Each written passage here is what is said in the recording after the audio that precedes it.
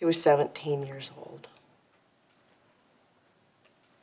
He was our friend. He was our little baby, even though he was 17 years old. When she died, she was only 15. name was Aaron, and she was uh, 19. He couldn't live with what he, th- what he had done, so he took his own life. We wish they were here still, that they were with us. Because I know what it's like to be a survivor. I know what it's like to be left behind.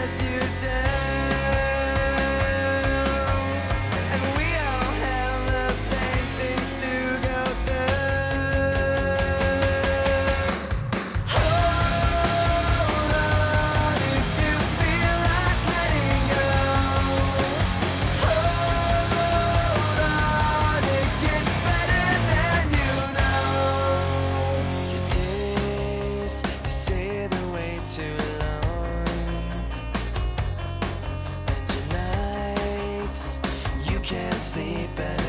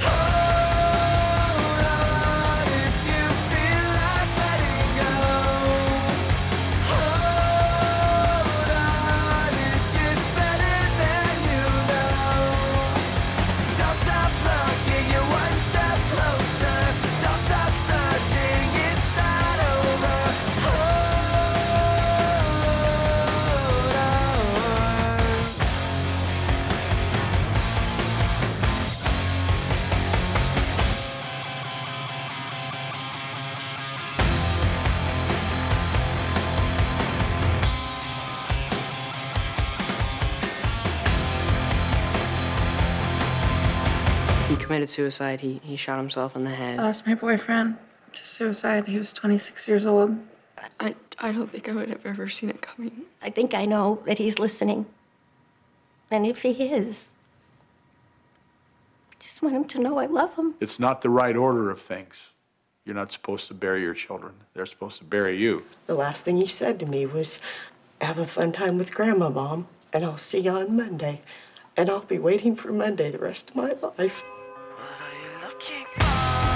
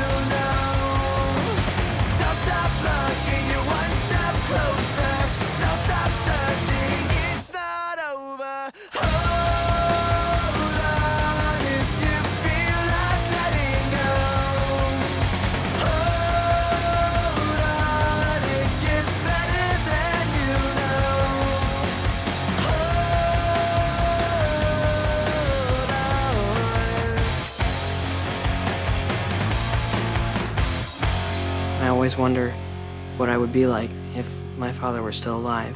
Hang on, because everybody goes through it. I've tried to hurt myself, but I'm, I'm glad I'm still here. There's always a way out, always. I can imagine not being here now.